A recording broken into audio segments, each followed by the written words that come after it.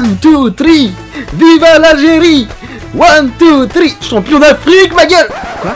Ma- Maradona? Je, je me suis trompé de sujet. On l'a refait. Oh ouais, oh ouais, oh ouais, oh ouais, Diego, Diego. Ça c'est de l'entrée en matière, mon gars.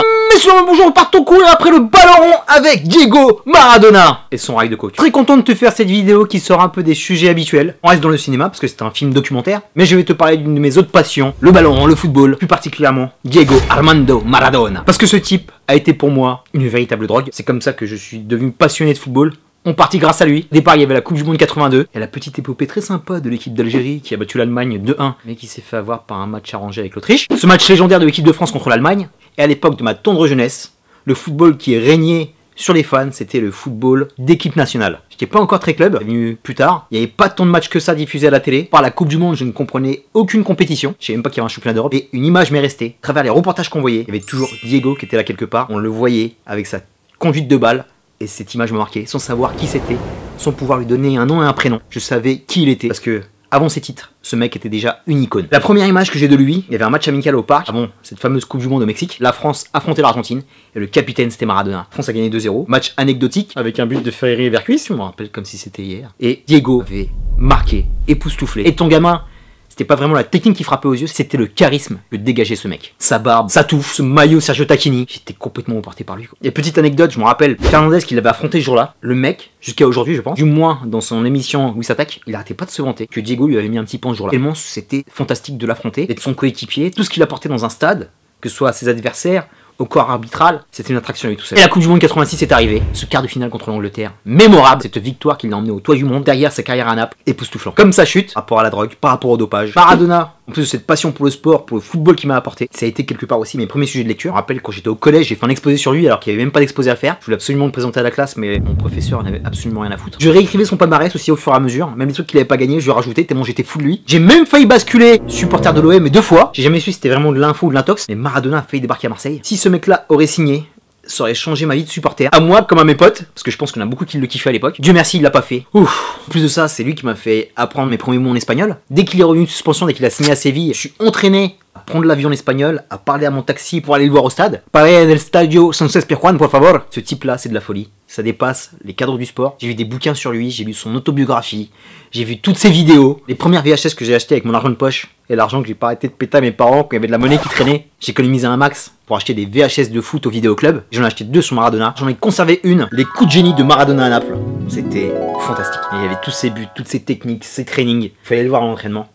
C'était pas une bûche au niveau physique. Mais ballon au pied, mon pote, il faisait ce qu'il voulait quoi. Un mec, il avait pas besoin de training, pas besoin de cardio, pas besoin de musculation. C'était déjà un bon bœuf. Pas besoin de musculation, j'abuse un petit peu parce que vu les lattes qu'il prenait, il avait besoin d'un corps quand même. Au départ, j'étais un peu sceptique par rapport à ce documentaire parce qu'on a eu beaucoup sur lui. Le documentaire de Didier Roustan sur Terre de Foot qui était vraiment fabuleux. Sur sa tendre jeunesse, son retour à Newell's All Boys. J'ai vu ses interviews, même celle où il s'est goinfré, je crois, 100 000 dollars pour même pas 10 minutes avec Nagui, c'était marrant. Et il y avait aussi le documentaire de Kusturica, qui est passé aussi au Festival de Cannes il y a quelques années. Un documentaire très sympa, mais j'avais un bémol par rapport à ça.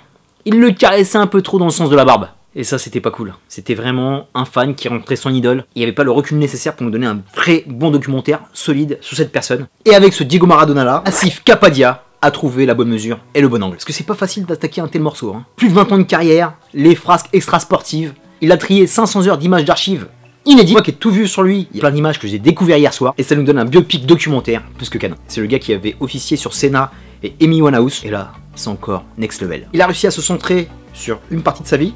En fait, il a rapidement zappé sa jeune carrière. Il n'a pas parlé de Los Cebolitas, il a rapidement parlé de Villa Fiorito. Diego est né dans la pauvreté, il est né dans un ghetto. Il passe rapidement sur l'étape où il devient professionnel à 15 ans, où il sort sa famille du bidonville. Il s'est basé principalement sur son transfert à Naples. Il a zappé aussi la partie où il est champion du monde junior en 1979. C'est là où son talent éclate à la face du monde entier, et c'est là que ses exploits sportifs vont faire le tour du monde. Va mettre un coup de projecteur sur le championnat d'Argentine, sur des clubs de légende comme Boca Junior, et débarque à Naples après un échec à Barcelone. Adaptation difficile, maladie en première saison, il a eu une blessure grave, on lui a pété la jambe, et il le dira beaucoup plus tard, perdu une partie de sa souplesse. Après cet attentat de Goicoechea, et c'est vraiment cool qu'il l'ait filmé. Ils ont filmé aussi son dernier match, ce match Coupe du Roi légendaire, pas parce qu'il s'est passé sur le terrain avec le ballon, plutôt ce qui s'est passé sur les à avec cette bagarre qui a traversé les décennies. On voit Diego qui se laisse pas faire, il en prend, il redonne, et après il débarque à Naples. C'est là que la légende, plus de l'équipe d'Argentine, s'écrit. C'était avant la Coupe du Monde 86, c'était en 1984, Naples n'était que dalle. C'est comme si Léo Messi débarquait à Toulouse ou à Rennes, un club qui était plutôt sur le bas du classement. À part quelques coupes nationales, ils ont rien gagné. Petit club, la Serie A, c'était entre guillemets le club des cutéreux, parce que c'était le sud, et le sud est rejeté par tout le nord riche de l'Italie. Et euh, je te raconte pas les insultes racistes qu'il y avait à l'époque, c'est vraiment très violent, on le voit dans le documentaire. Et Diego, qui est encore jeune, va relancer sa carrière avec ce club. Une véritable renaissance, va complètement fusionner avec la ville. Les images de son arrivée à São Paulo que tout le monde a vu, Là, on voit encore plus les coulisses parce a la conférence de presse qui est complètement ouf, hallucinante. La première question est posée euh, est-ce que la Camorra a participé au transfert? Et tu vois Corrado Ferleno, qui était le président de Naples, qui pète un câble. Ce que tu verrais jamais de nos jours. C'était vraiment euh, folklorique. Ils sont arrivés au stade, il y avait 85 000 personnes à l'intérieur de San Paolo. Il y en a qui ont été refusés d'accès. Dans la conférence de presse, il y a des gens qui étaient carrément sur le plafond, à travers des vitres, pour regarder comme si Messi débarquait en ville. Et attention, Maradona débarquait dans un club où il y avait personne. Donc il était entouré de nobody, de joueurs professionnels corrects mais c'était pas des gros joueurs. C'était ce petit club contre tous les clubs puissants du Nord pour rivaliser avec eux. ça s'est pas fait en un jour, la première saison a été un peu euh, moyenne, mais ils sont directement remontés en classement. Tu vois que Diego a apporté, tu vois que Diego aussi était très motivé par ce club. C'est un mec qui a toujours été touché par les classes populaires, et ça l'a motivé d'être là, ça l'a motivé aussi de se battre contre des riches. Il a réussi à qualifier son club pour la Coupe d'Europe, et c'est là qu'il est passé à la Coupe du Monde. Je fais un rapide condensé de cette Coupe du Monde, Mexico 86. Diego était revanchard, parce qu'il est sorti en 82 après une expulsion. Personne ne misait un copec sur cette Argentine, mon pote, il aura tout fermé la gueule. Parce que comparé à des joueurs qu'on surcote, à qui on dit attention, gros joueur, le joueur de demain, c'est le joueur qui va faire le gros match, c'est le joueur qui va te qualifier et qui ne répond jamais présent, hein, il y a plein d'exemples. Mais Diego, pardonne-moi l'expression, a toujours porté ses bourses. En plus de sa technique hors pair, ce mec avait une niaque, avait une rage comme personne. Il l'insufflait à tous ses coéquipiers. Parce que le mec a joué dans des ambiances de folie, quoi. Le mec, il a joué à Buenos Aires, donc je te raconte pas les barabravas, c'est tout le bordel, des supporters de malades. Dès que tu perds, ils viennent te mettre des coups de pression. Le presse engagé, quand tu vois la presse française, c'est les enfants de cœur à côté. Donc pour être là et faire cette Coupe du Monde là, mon gars, fallait les avoir. Et encore une fois, il était entouré de coéquipiers vaillants, corrects, de bons joueurs de football, Valdano, Boruchaga, mais il était seul au monde. Et le mec a gagné cette Coupe du Monde à lui tout seul. Il y a plein de joueurs qui ont marqué cette compétition, qui ont marqué la Coupe du Monde, mais ils avaient des collectifs de folie. Quoi. Après, en 74, qui n'emporte pas, mais qui avait fait une Coupe du Monde de malade. Romaillon en 94, lui aussi énorme. Après, c'est un 9, donc le jeu ne passe pas par lui, mais pareil, 11 Brésiliens de folie aussi. Ronaldo en 2002, qui enchaîne but sur but, mais quand tu vois le 11 Brésiliens qui avait à côté de lui, Zidane en 2006, c'était sa grosse Coupe du Monde, parce qu'en 98, pour moi, il fait pas une grosse Coupe du Monde, à part la finale où il marque deux buts. Et il y a Diego en 86, qui a écrasé cette compétition comme personne, et comme je pense, personne ne le fera. Donc on va évacuer tout de suite la question. Pour moi, c'est le meilleur joueur de tous les temps. Même s'il y a des joueurs excellents que je reconnais, qui sont vraiment très forts, et le football, comme il est fait maintenant, ne permettra jamais à un Lionel Messi, par exemple, qui galère avec sa sélection, ou même à Ronaldo, d'atteindre ce type. Parce que t'as des champions avec un palmarès énorme, et t'as la légende. Ces mecs-là qui sont au-dessus, qui ont marqué ce sport, qui lui ont donné ses lettres de noblesse, lui pour moi est au-dessus. Parce que là où il a fait la différence comparé à ces mecs-là, c'est qu'il était seul. Il était seul en Argentine, il était seul à Naples, et les a montés à lui seul sur le toit de l'Olympe. C'est un débat qui est kiffant, on a tous notre avis là-dessus. Toi, tu peux me dire que tu préfères un tel ou je préfère un tel, mais moi j'aurais toujours l'argument que c'est pas le palmarès qui fait le truc, hein, tu vois. C'est l'histoire. En plus, il a vécu dans une époque où le footballeur technique comme lui, qui portait beaucoup la balle, n'était pas protégé. Parce qu'il se prenait des attentats par match. Tu vois que pendant sa carrière, il a souffert de pas mal de blessures lombaires parce qu'il encaissait tellement. Il se relevait, il y allait. Il s'embrouillait pas en plus, hein. ça faisait partie du jeu, c'était comme ça. Et attention, le terrain c'était des champs de patates. Les ballons, c'était d'une lourdeur. Moi qui joue au foot à l'époque, on gonflait un ballon senior, c'était impossible de faire un son correct, impossible de faire une passe rapide, tellement ils étaient lourds, ça te pétait les chevilles. Et Diego il jouait avec ça comme si c'était une ballon mousse. Et le match au sommet qui marque vraiment toute sa carrière, ce match contre l'Angleterre, mon gars. L'Argentine sort de la guerre des Malouines, peuple on a souffert. Et ce type-là, qui était vraiment dans l'extrême, il s'est pas dit on va séparer sport et politique. Il a fait le mix des deux. Et quand il rentre sur le terrain contre l'Angleterre, c'est pour aller à la guerre. Et les Anglais, c'est pareil. Parce qu'ils lui mettent dans la gueule, il va symboliser tout ce qu'est ce sport. Il faut pas se mentir. Le football est un sport de garce. C'est un sport qui est basé sur la triche, sur la ruse. Donc il y a eu cette mano de Dios, et le mec a joué le jeu, et en plus c'est bien expliqué pour une fois dans ce documentaire. Tu vois qu'il regarde le juge de touche, qui court et qui va fêter son but, ni vu ni connu. Il faut se rendre compte aussi par rapport à l'arbitre. Au Mexique, en altitude, avec la chaleur, l'humidité, stade à 100 000 personnes, ça gueule dans tous les sens. À la télé, on le voit super bien, mais je sais pas où était le juge de touche sur l'action. Ça allait à vitesse grand V. Je veux pas excuser ce qui s'est passé. carotte tout le monde, mon gars. C'était un braquage parfait. Mais derrière ça, mon gars, il marque le but du siècle, où il passe toute l'équipe d'Angleterre en revue à une vitesse et un contrôle, mon pote. Le but, c'est de la folie totale. C'est vraiment tout ce que représente Maradona. Avec les commentaires de Victor Hugo Morales. Mon gars, il est en pleurs. En plus, tu as la traduction française sur le docu. Tu viens d'une autre galaxie, tu viens d'une autre planète, savant cosmique. Même lui, la performance du commentateur, l'émotion qu'il te procure, t'as la chair de poule sur les deux, quoi. Sur l'action de jeu et sur la voix du gars, t'es en larmes aussi, quoi. Le mec sait qu'il a vécu quelque chose d'inoubliable, de légendaire, il ne repassera pas deux fois. Stade de la compétition, avec une telle pression, de faire une telle action, mon gars, tu te rends pas compte, quoi. C'est de la tuerie. pourrais me l'écouter euh, tous les matins sans problème. Et rien que je t'en parle, j'ai des frissons partout sur le corps. Fille d'avoir vécu ça en direct. Tout gamin. Et de revoir sur un écran de cinéma hier, c'était euh, fabuleux. Il a porté son équipe jusqu'à la finale. Et en la finale, c'est même lui qui fait la différence alors qu'il est très bien pris par les Allemands. Qu'il l'avait serré de près. Et compris hein, qui c'était. Il te fait la petite passe pour Chaga alors qu'il est cuit. Ils sont tous cuits les gars. Ils se sont tapés 7 matchs au Mexique. Un mois de mise au vert dans un camp militaire. Superbe image aussi. Dans sa chambre il n'y a pas de fenêtre, il n'y a que des murs en briques, il y a des photos de cul pour qu'ils se soulagent, je suppose. Ils sont restés un mois comme ça, mon gars. Ils étaient en mission. La folie qui entoure euh, Buenos Aires quand ils rentrent avec la Coupe du Monde dans les mains, rien à voir avec. Euh, J'ai Dream l'Elysée avec Macron l'année dernière. Enfin bon, c'est un autre football. Il a atteint le sommet. Après quelque chose comme ça, c'est difficile de digérer comme il faut. Il revient à Naples. Il va chez Scudetto, mon pote. En face de toi, le Milan de Berlusconi, la Juve de Agnelli, mon pote. L'Inter de Milan. Naples, défoncer tout le monde. D'Italie. De l'UEFA derrière. Rechampion d'Italie. Coupe d'Italie. Il y a que Diego truc pareil. Et c'est pour ça que ce mec est légendaire. Il aurait pu signer dans n'importe quel club du monde, faire un palmarès de ouf, gagner des Coupes d'Europe, des clubs champions, ancêtre de la Champions League. Il t'imagine même pas le nombre de ballons d'or qu'il aurait raflé. Il aurait été européen. Mais il a préféré rester dans ce club, mettre cette ville la carte du football, marquer l'histoire de cette ville, marquer l'histoire du sud de l'Italie et marquer le football mondial. Plus facile d'arriver dans un club installé au sommet du football européen et se faire un palmarès. Lui, s'est fait un palmarès sur rien, sur aucune fondation. Mec a tout fait. Et ce documentaire le montre jusqu'à cette Coupe du Monde 90 en Italie, où la chute a commencé. Avec quelques frasques extra sportives avant, cet enfant dont il a pas reconnu la paternité, et aussi ses histoires avec la Camorra, mais pareil, t'es à Naples, la Camorra était toute puissante à l'époque, c'était inévitable qu'ils se rencontrent pas ces gens-là. Et à partir de la Coupe du Monde 90, l'Argentine élimine l'Italie en demi-finale, encore un gros match. Vu en direct, c'était vraiment magnifique. Diego qui était blessé pendant cette Coupe du Monde, il a pas fait la même Coupe du Monde qu'en 86, mais mon pote, pareil, quel capitaine. Le mec a porté son équipe, le Salom contre le Brésil en huitième de finale, dernière minute, de la prolongation. Cette demi-finale contre l'Italie où il part pas un seul ballon alors qu'il est super bien pris. Et l'équipe d'Italie c'était vraiment une squadra dura de feu. C'était vraiment des monstres. Ce mec en plus d'être un soliste.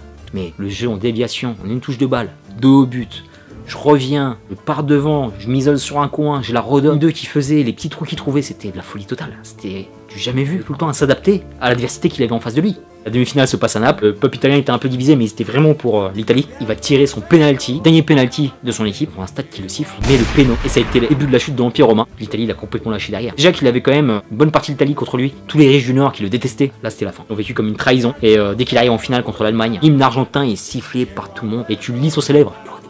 Il dans son match et euh, ce qui arriva. L'Allemagne mérite son titre, fond en larmes quoi, quand il est parti chercher sa médaille parce qu'il était encore sifflé, il était détesté. L'erreur qu'il a faite, et on le voit dans le documentaire, c'est de ne pas avoir quitté Naples avant. Il aurait dû partir. Une ville qu'il a aimé, adulé, mais qu'il a complètement bouffé. Il pouvait plus faire un pas d'or, il pouvait plus vivre, plus aller au resto, faire les courses, vivre comme un être humain. Une scène qui est vraiment fantastique que j'ai découvert aussi hier. Il est parti faire une prise de sang. Émeute Le bouche à oreille napolitain euh, était puissance 12. Il a câblé. C'est là que tu comprends pourquoi il s'est accoquiné un petit peu avec les mecs de la Camorra. Parce qu'il était drug addict, il avait besoin de sa coke. La cocaïne n'a pas commencé à Naples ni en Argentine, elle a commencé à Barcelone où il était accro. Il a continué de puber à Naples et c'est là qu'il s'est complètement détruit. Et la Camorra avait la main mise sur lui parce que c'était les fournisseurs. Et la Camorra aussi le protégeait. La seule fois où il pouvait sortir tranquillement, c'est quand il était de ces mecs-là, parce que ces mecs-là, personne ne les touchait. Personne venait autour de Dès que ces mecs débarquaient en boîte, dès que ces mecs débarquaient chez eux ou ils étaient dans la rue, Diego était tranquille. C'était les seuls gars avec qui il pouvait et respirer. Parce que c'était un mec qui avait besoin de décompresser, faire la fête. Et c'est là qu'il est parti en couille. On voit comment il expliquait comment il se décrassait de la drogue. Il faisait la fête dimanche au mercredi. Du mercredi au samedi, il s'entraînait, il courait sur son tapis roulant pour décrasser, décrasser, décrasser un maximum. Vous voyez qu'il était protégé par le système. Je pense que l'Italie avait besoin de lui pour son championnat. Pas de contrôle antidopage à l'époque, c'était vachement freedom. Protégé aussi par les flics. Je pense qu'il était aimé de tout le monde ce gars-là. Protégé par les mafieux, parce que les mafieux, c'est pas que les mafieux se servaient de lui pour faire leur business. Les mafieux, ils ont besoin d'être discrets. Et même eux, ça a joué contre eux de mettre tel star autour d'eux. Ce genre de mec, dès qu'il kiffe quelqu'un, il l'aime d'amour. Ils veulent pas lui faire du mal. Et Diego, comme il était aimé par tout le monde, il a jamais eu avec ces gars-là. Il était pas menacé, il a pas été raquetté ni quoi que ce soit. C'était un mec, tout le monde était amoureux. Ce documentaire te l'explique bien. Ce qui est très bien, c'est qu'ils l'ont pas victimisé. Il est responsable de ses actes. Il a détruit sa carrière lui-même, parce que je pense qu'il lui restait dans les pattes 4-5 bonnes saisons. Et il s'est tiré une balle dans le pied tout seul.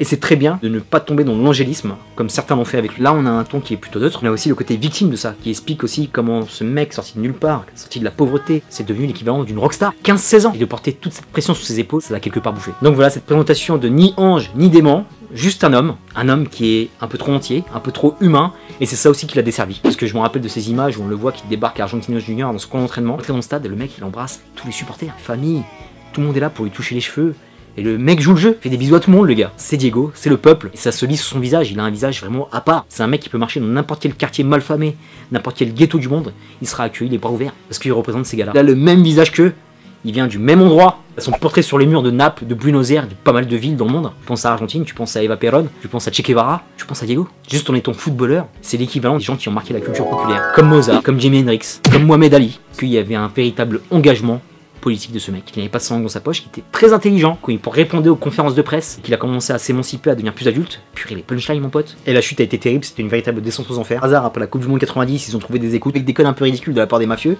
Code euh, pour dire que c'était Maradona, c'était Marado, d'accord? Pas grillé du tout. Et ils l'ont fait tomber pour dopage, c'était le premier contrôle antidopage. Une champion d'Italie est tombé sur sa gueule. La sanction qui a été exemplaire. Cocaïne. Et tous les gens qui disent ouais, euh, il était fort parce qu'il était cocaïne. Non, je pense pas que la cocaïne l'ait aidé à quoi que ce soit. Je pense que la cocaïne l'a détruit plus que l'a aidé par rapport à ses perfs.